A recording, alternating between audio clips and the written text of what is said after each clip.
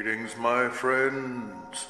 Baron Otto von Rippov here with another movie review for you. A short sci-fi film on the Dust Channel called The Recycling Man by Carlo Ballauri. I have to be honest. I almost did not want to review this film after viewing it. It's really dark, and I'm not sure if that's your thing, but if it is, then you might get something out of it.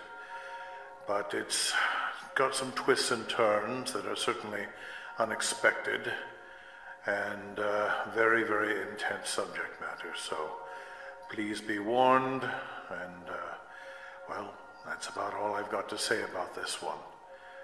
Watch it if you will, but like I said, this does deal with some intense issues like abortion and so forth. So this is this is a dark one, my friends.